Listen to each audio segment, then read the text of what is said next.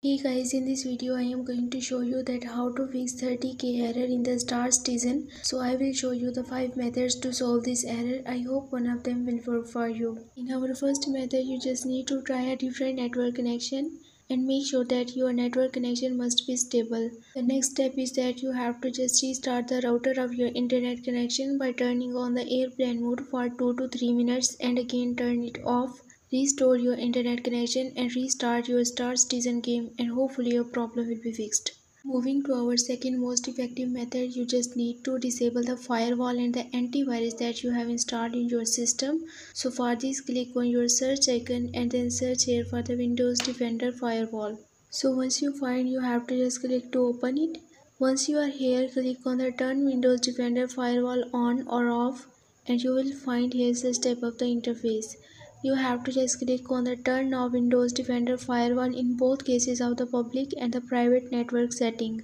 Once you done, click on the OK and again restart your Star Citizen and your problem will be fixed. And our third method is so simple, you just need to restart your system one time.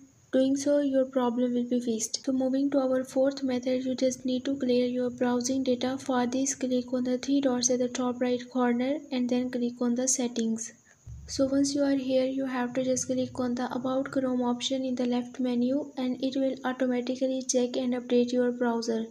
Once you done click on the privacy and security in the left menu and then click on the clear browsing data.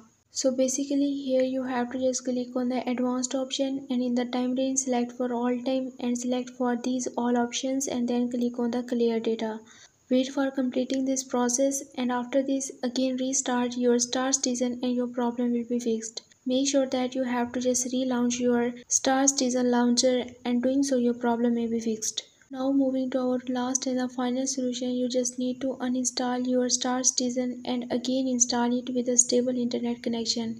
Doing so your problem may be fixed 100% so that's all for this video. I hope this video will be very helpful for you. For more information you can visit my website whose link i have shared in this video's description. So leave a like and a comment for this video and also subscribe my channel. Let me guide. Thanks for watching